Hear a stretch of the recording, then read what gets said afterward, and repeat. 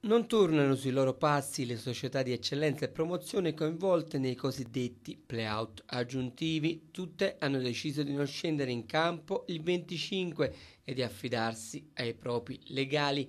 Tra loro il Gesualdo di mister Alfonso Pugliese che dopo aver ottenuto la salvezza ai danni del San Vitaliano vincendo per 2 a 1 avrebbe dovuto sfidare la San Severinese per questa ulteriore coda di torneo. Giocare secondo le società sarebbe stata una scelta contro i principi dello sport, soprattutto dopo aver concluso la stagione il 6 aprile scorso. Stessa scelta fatta anche da Club Ponte, Hermes Casagiove, Puteolana 1909, Rione Terra, San Severinese, Rocchese e Temeraria San Mango, così come tutte le compagini campane del massimo campionato regionale.